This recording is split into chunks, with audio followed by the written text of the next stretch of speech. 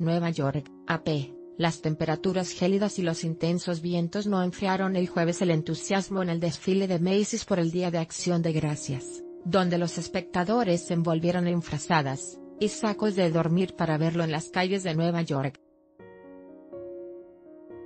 Los globos gigantescos de personajes como Bob Esponja, Charlie Brown, el Grinch y Santa Claus recibieron luz verde para elevarse justo antes de que comenzara el desfile aunque algunos volaron notablemente a menor altura. Incluso la mano de Diary of a Wimpy Kid parecía tocar a algunas de las personas que sostienen las cuerdas de los globos.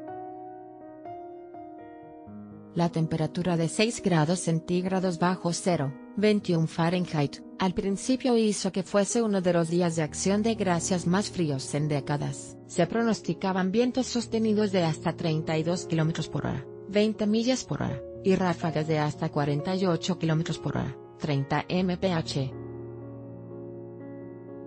Las autoridades ya estaban preparadas para ordenar que los 16 globos llenos de helio volaran a menor altitud o fuesen retirados si los vientos excedían los 37 km por hora, 23 mph, y las ráfagas los 54,7 km por hora, 34 mph. En otras ocasiones ha habido contratiempos, y lesiones cuando los vientos sacaron a los globos de su ruta.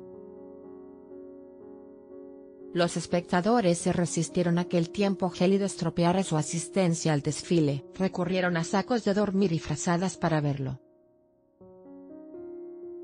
Tony Stowut acampó junto con su familia desde las 2 de la madrugada para asegurar un buen lugar y poder ver a su hijo, quien forma parte de la banda de guerra de la Universidad Estatal de Ohio.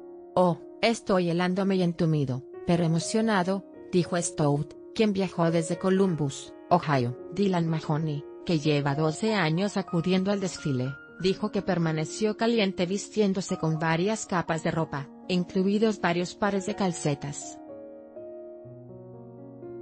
Es uno de los más fríos, dijo, pero en ocasiones anteriores lo he visto con lluvia.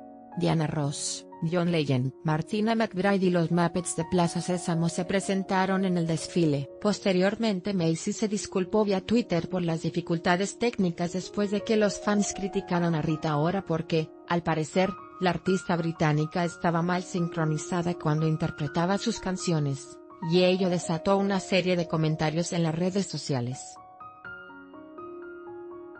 La cantante usó el mismo canal para agradecer a sus seguidores por la honestidad.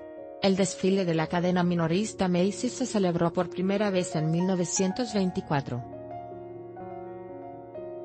El comisionado de la policía James O'Neill dijo que miles de agentes estuvieron custodiando el desfile. Entre ellos había equipos antiterrorismo con armas largas, oficiales vestidos de civil mezclados entre la multitud, y un nuevo escuadrón de equipos caninos que a 9 olfatean explosivos a metros de distancia. En esta nota, Estados Unidos Día de Acción de Gracias.